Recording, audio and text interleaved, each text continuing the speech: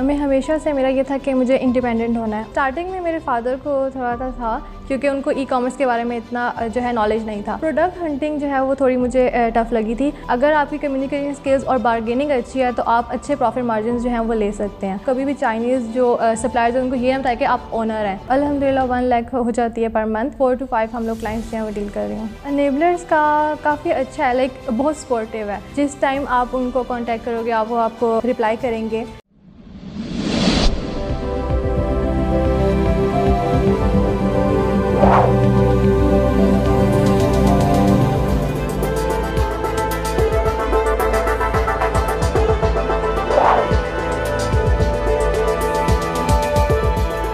वालेकुम नाजरीन sharing of professional wisdom के साथ मैं हूँ आपका मेज़बान अली रहमान खालिद। नाजरीन एनेबलर सक्सेस स्टोरीज़ के एक नए इंटरव्यू के साथ मैं हाजिर खिदमत हूँ। जैसा कि आप जानते हैं कि हम सक्सेस स्टोरीज़ आपके साथ शेयर करते रहते हैं और डिफरेंट टॉपिक्स पे आपसे गुफ्तु करते हैं, जैसे प्रोडक्ट हंटिंग पीपीसी पीपीसी के लिए हम अभी तक दो इंटरव्यूज़ कर चुके हैं, जो कि पीपीसी रैंकिंग और इसके बारे में काफ़ी डिटेल्ड इन्फॉर्मेशन अपने अंदर रखते हैं। आज हमने जिन मेहमान को दावत दी है, वो हमें प्रोडक्ट सोर्सिंग के बारे में बताएँगी कि प्रोडक्ट सोर्सिंग क्या होती है, इसमें क्या स्टेप्स इन्वॉल्व होते हैं और किस तरह से प्रोडक्ट सोर्सिंग को बेहतर बनाया जा सकता है। अस्सलाम वालेकुम, अरूबा सबूर साहिबा, आपकी तशरीफ़ आवरी का। वालेकुम अस्सलाम थैंक यू मैम मुझे ये बताइएगा कि सबसे पहले तो आपकी स्टोरी से हम आगाज़ करते हैं कि आपने ई कॉमर्स में आने का कब सोचा कैसे प्लान किया कि मैंने ई कॉमर्स में आना है? एक्चुअली uh, मैं हमेशा से मेरा ये था कि मुझे इंडिपेंडेंट होना है और जैसे ही मेरा बैचलर्स uh, कंप्लीट हुआ तो मैंने जॉब्स वगैरह सर्च करना स्टार्ट कर दी। और लेकिन जो भी ऑप्शन मुझे मिला था वो टीचिंग का मेरा था और उनके जो सैलरी पैकेज था वो बहुत जो है वो कम था। बस इस वजह से फिर मैंने सोचा कि अगर मुझे एमएस कर लेना चाहिए। बस यही टाइम ड्यूरेशन था। इसमें मुझे एक दफ़ा एफपी से इनेबलर्स की कोई सक्सेस स्टोरी आई हुई थी। वो जब मैंने देखा तो मुझे फ़र्स्ट टाइम वहाँ पर पता चला कि वीए और इनेबलर्स के बारे में। फिर मैंने उनको एक्सप्लोर करना स्टार्ट किया, मैं डिफरेंट ग्रुप्स उनके जो हैं उन पर गई और वहाँ से मुझे ईवीएस का पता चला। फिर मैंने ई वी की एक्सेस ली, वहाँ से वी कोर्स किया और फिर मुझे पता चला उनके F B A mastery course आ रहा है। तो फिर मैंने वाकई में जो उनका फ़ेस टू फेस कोर्स था, वो ज्वाइन कर लिया। अच्छा ई कॉमर्स में आने के बाद आपको मुश्किल काम सबसे ज़्यादा क्या लगा? प्रोडक्ट हंटिंग जो है वो थोड़ी मुझे टफ़ लगी थी क्योंकि वो एक तो टाइम टेकिंग बहुत है और डिफरेंट क्राइटेरिया होता है फिर हर चीज़ उसमें मैच करना आपको काफ़ी मुश्किल हो जाता है। मतलब प्रोडक्ट को क्राइटेरिया पे लाना वो थोड़ा मुश्किल काम। अच्छा मैम मुझे ये बताइएगा कि आपका एक्सपर्ट एरिया आपने बताया कि सोर्सिंग है आपको प्रोडक्ट सोर्सिंग पे काफ़ी ज़्यादा ग्रिप है इसमें क्या क्या स्टेप्स इन्वॉल्व होते हैं और ये किस तरह की जाती? है देखिए सोर्सिंग के लिए सबसे इंपॉर्टेंट चीज़ है वो कम्युनिकेशन स्किल्स होती हैं। अगर आपकी कम्युनिकेशन स्किल्स और बार्गेनिंग अच्छी है तो आप अच्छे प्रॉफिट मार्जिन जो हैं वो ले सकते हैं। और सबसे मेन चीज़ जो है आप कभी भी चाइनीज़ जो सप्लायर्स हैं, उनको ये ना बताया कि आप ओनर हैं। अगर आप ओनर हैं तो वो आपके कभी भी रेट्स जो हैं उसको कम नहीं करेंगे।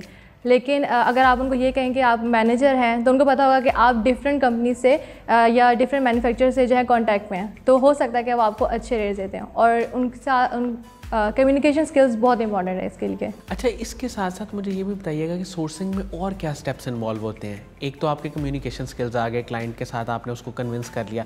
मजीद इसमें क्या चीज़ें होती हैं? जब आप कॉन्टैक्ट कर लेते हैं आपने रेट्स वगैरह ले लिए उसके बाद आपने क्वालिटी चेक करनी होती है। आ, उसके बाद मतलब आप उसको फिजिकली चेक करते हैं क्वालिटी को या पिक्चर्स में ही चेक होती है? आ, हम लोग जो है वो एक इंस्पेक्शन कंपनी होती है हम उनको हायर करते हैं। और वो फिर हमारे बिहाफ पे जाके उनको चेक करती हैं और हमें फुल रिपोर्ट जो है वो देती हैं वीडियोस सेंड करती हैं और हर चीज़ जो है वो डिटेल में हमें बताती हैं प्रोडक्ट के बारे में। अच्छा मुझे ये बताइएगा कि आपकी इस वक्त मंथली अर्निंग कितनी है और कितने क्लाइंट्स हैं आपके पास? अलहमदिल्ला वन लैख हो जाती है पर मंथ और फोर टू फाइव हम लोग क्लाइंट्स जो हैं वो डील कर रही हूँ। इनेबलर्स का इन्वायरमेंट आपको कैसा लगा? इनेबलर्स ने आपको कैसे सपोर्ट किया? इनेबलर्स का काफ़ी अच्छा है लाइक बहुत सपोर्टिव है। जिस टाइम आप उनको कांटेक्ट करोगे आप वो आपको रिप्लाई करेंगे। अगर आप वीक डेज़ में भी अगर आप उनके ऑफ़िस चले जाएँगे तो सर जो हैं हमारे स्पेशली वाकेंड के वो वहाँ पे मौजूद होंगे। वो आपको आ, कभी भी ये नहीं कहेंगे कि वो बिज़ी हैं या बाद में आए या कुछ इस तरह या वो डिस्टर्ब हो रहे हैं। वो जितनी आपकी हेल्प कर सकें वो करेंगे। तो मुझे तो काफ़ी फ्रेंडली और सपोर्टिव लगा। अच्छा मुझे ये बताइएगा कि जब आपने इनेबलर्स को ज्वाइन किया तो आपकी क्या एक्सपेक्टेशंस थी? जो आपकी एक्सपेक्टेशंस थी क्या वो आप मीट हुई या नहीं हुई? स्टार्टिंग uh, में तो मैं सक्सेस स्टोरी देख के आई थी और मुझे भी बाकी सब तरह यही लगा था कि जल्दी जल्दी मैं भी ज़्यादा सारे पैसे कमा लूँगी। लेकिन uh, जब इस फ़ील्ड में आप आते हैं तो फिर आपको पता चलता है कि नहीं यहाँ पे आपको पेशेंस की ज़रूरत है और टाइम लगेगा। और इसी तरह से हुआ कि हम लोगों ने कोर्स कंप्लीट किया उसके बाद हमने वर्क ज्वाइन किया और वहाँ वर्क में जो है हम लोगों ने टीम बनाई और इस टाइम पीरियड में like one to two months जो है वो लग गए। उसके बाद हमें जो है वो क्लाइंट मिला वो भी फेसबुक से हमें फ़र्स्ट क्लाइंट मिला और अल्हम्दुलिल्लाह अब हम लोग अच्छा चल अच्छा मैम कौन से ऐसे स्किल्स हैं जो एक वर्चुअल असिस्टेंट के पास होने चाहिए? यानी आपके ख्याल में वो अगर स्किल्स किसी भी इंसान के पास हों तो वो ई कॉमर्स में आ सकता है और बड़े आराम से कमा भी सकता है। कम्युनिकेशन uh, स्किल्स जो हैं वो ज़्यादा इंपॉर्टेंट है। आपकी इंग्लिश अच्छी होनी चाहिए। अच्छा। और आपके जो है प्रोडक्ट एनालिसिस आपको अच्छा करना चाहिए। आपको डिफरेंट सॉफ्टवेयर या टूल्स जो हैं वो आपको यूज़ करने चाहिए। एक्सेल हो गया सॉफ्टवेयर जो होते हैं ये आपको यूज़ करने आने चाहिए। अच्छा मैम आपकी फैमिली ने आपको कितना सपोर्ट किया? जब आप ई कॉमर्स में आना चाहती होंगी उन्होंने तो कहा होगा कि आप टीचिंग की जॉब में जाएँ ज़ाहिर है वो आप एक टीचर बन जाएँगी। लेकिन ई कॉमर्स में आकर तो पता नहीं आप क्या बनेंगी। तो उन्होंने आपको सपोर्ट किया इस मामले में समझा या अगेंस्ट थे वो? स्टार्टिंग uh, में मेरे फादर को थोड़ा सा था क्योंकि उनको ई कॉमर्स के बारे में इतना जो है नॉलेज नहीं था। लेकिन फिर मैंने उनको काफ़ी समझाया और मैंने कहा एक दफ़ा आप मुझे चांस दे दें क्योंकि वो चाहते थे कि मैं एमएस में एडमिशन लूँ। लेकिन मैंने उनको कहा कि आप एक चांस दे दें मुझे अगर ना हुआ तो फिर मैं आगे एमएस कंटिन्यू कर लूँगी। लेकिन ये है कि कुछ ही मंथ्स बाद वो कन्विंस हो गए और अब जो है वो सबसे बिगेस्ट जो स्पोर्टिव है वो मेरे वही हैं। अच्छा कभी आपने क्लाइंट्स को ऐसे कहा है कि सिर्फ़ एक चांस दे दें मुझे? नहीं, आ, नहीं क्लाइंट को तो कभी हमने नहीं उनको कैसे कन्विंस करते हैं आप? उनको हम लोग अपनी जो है वो एक तो एक्सपीरियंस दिखाते हैं या आ, हम लोग उनको जूम मीटिंग में लेते हैं ना और जूम मीटिंग में लेके हम उनको बिल्कुल। अगर हम सिर्फ़ मैसेजेस में कर रहे हैं तो एक ट्रस्ट नहीं होता। लेकिन अगर अगर जूम में कर रहे हो तो वो आपको देख पा रहे हैं, वो आपकी बॉडी लैंग्वेज को देख रहे हैं और उससे उनको अंदाज़ा हो जाता है कि यार ये बंदा कर सकता है कि नहीं कर सकता। मैम, जो लोग हमारी इस वीडियो को देख रहे हैं, ख़ास तौर पर वो उनके जहन में सवाल आते होंगे कि ये एक लाख रुपया, डेढ़ लाख रुपया कमा लेते हैं इतनी आसानी से। तो वो किस तरह से अपने स्किल्स को डेवलप करें और कौन सी दो तीन चीज़ें उनके पास हों तो वो आ जाएँ फिर इस फ़ील्ड में? कम्युनिकेशन स्किल्स वगैरह की तो आपने बात की लेकिन इसके अलावा उनका माइंडसेट क्या होना चाहिए? देखिए अगर वो इस फ़ील्ड में आ रही हैं तो उनको पेशेंस की बहुत ज़रूरत है। ठीक है। ऐसे नहीं कि वो जिस तरह सक्सेस स्टोरीज देख के आ रहे हैं कि भाई हम भी जैसे ही कोर्स कंप्लीट होगा और हम भी जो है वो एक लाख रुपया कमाना शुरू कर देंगे।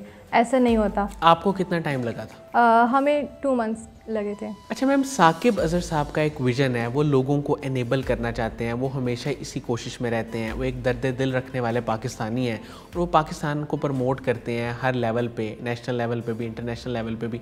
उनके विज़न को आप कैसे देखती हैं? देखिए, मैं तो ये कहूँगी कि सर साकिब अज़र जो हैं, वो अल्लाह ताला की तरफ़ से हमारे लिए ब्लेसिंग है। स्पेशल पाकिस्तान के लिए जो है, वो ब्लेसिंग है।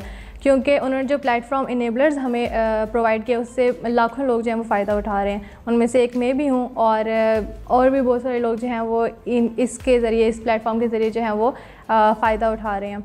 अगर ये ना होता तो शायद हम भी अभी यहाँ पे ना होते। बहुत से लोग मैंने देखे हैं कि सिर्फ़ उनकी वजह से आज इस मुकाम पे हैं। मुझे ये बताएँ कि आपके फ्यूचर गोल्स क्या हैं? फ्यूचर में आप अपना प्राइवेट लेवल बिज़नेस लॉन्च करना चाहती हैं या टीम में ही काम करना चाहती हैं वॉक के साथ काम करना चाहती हैं? क्या प्लान है? टीम को तो हम आगे तक लेके चलेंगे। आ, लेकिन यह है कि इंडिविजुअली मैं अभी होलसेल की तरफ़ जाऊँगी और फिर प्राइवेट लेवल की तरफ़ मेरा इरादा है। बहुत बहुत शुक्रिया अरूबा सबूर साहिबा आपकी तशरीफ़ आवरी का।